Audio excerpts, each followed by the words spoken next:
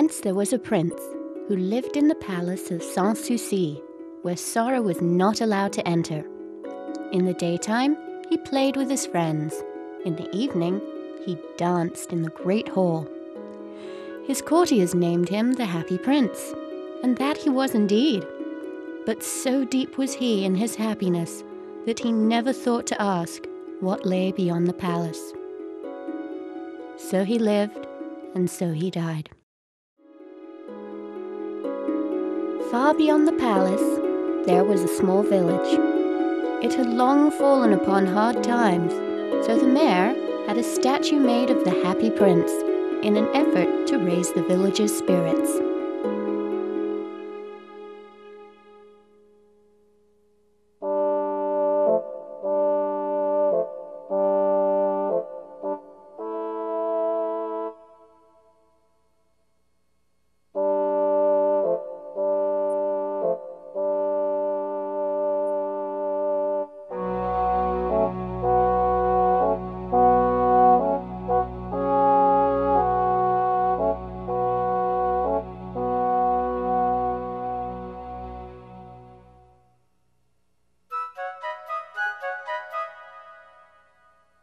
Meanwhile, not far from the village, there was a swallow.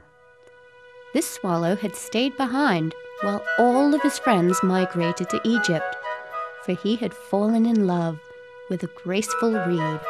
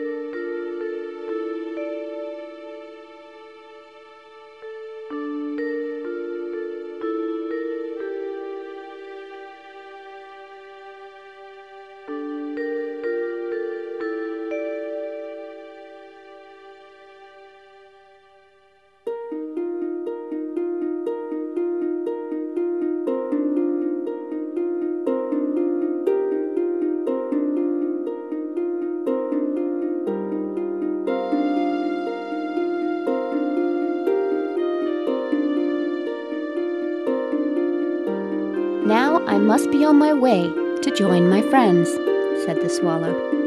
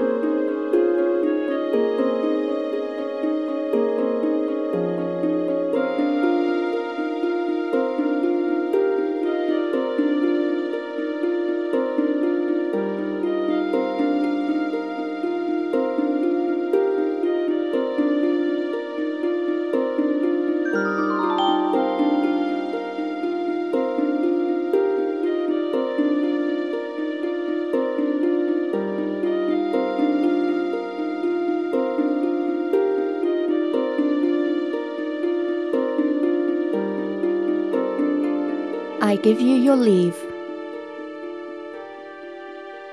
But the swallow could not bring himself to go.